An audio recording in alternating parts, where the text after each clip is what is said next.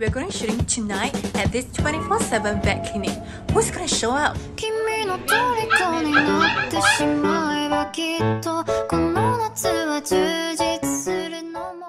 So that's the On The Red Dot crew filming an intense shift.